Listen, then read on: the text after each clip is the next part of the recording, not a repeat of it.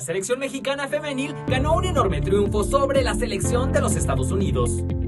Así es, la selección mexicana femenil se impuso a los Estados Unidos en California y será el primer grupo A de cara a los cuartos de la Copa Oro femenil, jugando un partidazo en la tercera ronda de la fase de grupos en la Copa Oro y se sobrepuso 0-2 a su similar de los Estados Unidos. Las futbolistas de Pedro López demostraron personalidad y avanzarán a los cuartos de final de la competición como las primeras del sector. Un gol en el agregado le dio la tranquilidad al representativo nacional y toda la confianza de cara a lo que viene. El marcador fue abierto por Jacqueline Valle a los 38 de acción gracias a que fue a presionar, robó el balón y supo definir con sutileza por encima de la arquera rival. Aunque fue hasta el minuto 90 que México pudo por fin liquidar las acciones vía Mayra Pelayo que firmó un golazo para avanzar sin complicaciones. Las aztecas todavía no reciben gol en el torneo y acaban de derribar a uno de los cuadros favoritos pero al final mi corazón decidió con México y pues jugar contra eh, los Estados Unidos, alguien que he visto mucho cómo juegan,